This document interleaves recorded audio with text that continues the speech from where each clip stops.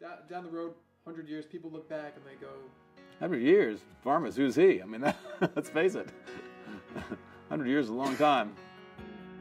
Harold is unflappable. He's a brilliant scientist.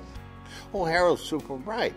And uh, you have a lot of super bright people who've done nothing, but Harold did something very important. Harold, working with Mike Bishop, uh, made that most profound observation uh, that there are genes within all of our cells uh, which, if mutated, are capable of causing cancer, oncogenes. So, you know, it was a discovery when you hear about it, you, you think, well, you know, he's going to get a Nobel Prize. He did. When Harold Varmus first came to NIH, uh, he wrote a paper about how we would need uh, to address the fact uh, that the budgets for biomedical research were going to be cut, because that was everybody's expectation. Uh, quite the opposite occurred, and I think Harold had a lot to do with that in terms of the way in which he put forward the promise of medical research in a fashion that was highly credible, highly authoritative, and inspiring. Memorial Sloan Kettering uh, Cancer Center has a long tradition of outstanding cancer care as well as uh, basic cancer research. During the 10 years he was here, he attracted a number of, uh, of leading uh, investigators to move to New York and set up new programs um, in immunology, uh, cancer biology, and a program that I direct called Human Oncology. Uh, so he's transformed the face of this institution. Right now, cancer research is red hot. There is so much potential for really figuring out in a comprehensive way what causes a normal cell to become malignant.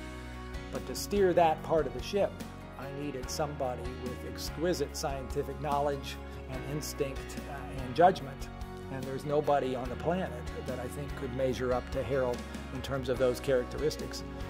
The thing I see most clearly when I look at the, the problem we face in cancer is understanding exactly what goes wrong with the cancer cell, how we might prevent those things from happening, how we can counter them with new therapies and, and uh, make uh, cancer a more controllable disease. The qualities required to uh, lead large institutions like Sloan Kettering Cancer Center or the National Cancer Institute, I think, are, are multiple. First, extremely profound understanding of the cancer problem, not only at a basic scientific level, but at a clinical level as well.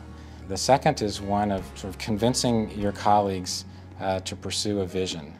The leader of these institutions needs to have the respect and confidence of the community. Um, and so someone as senior and accomplished as Dr. Varmus is one of the few people who I think can lead us that way. Um, I actually don't care whether people 100 years from now remember me at all. I'm more interested in what people I'm living with think about whether I'm doing the right thing in my scientific career or um, in leading the institutions I've led and bringing people together and making use of the money the public's made available to us to, to uh, use science to both understand the, the basis of life and to use the principles that we discover to improve human health.